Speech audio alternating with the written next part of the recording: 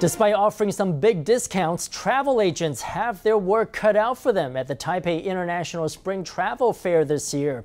They need to overcome customer fears over visiting China due to the outbreak of the deadly H7N9 bird flu.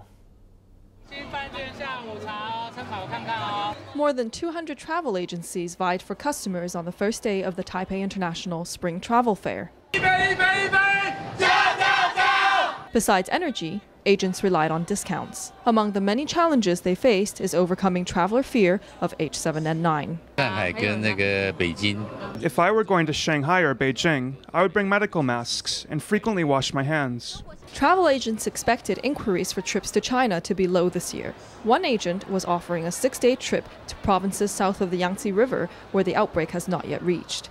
Some chose to promote other destinations. Because of the bird flu, we aren't offering trips to mainland China this year. Consumers are worried. For Hong Kong and Macau, we're offering them special discounts. This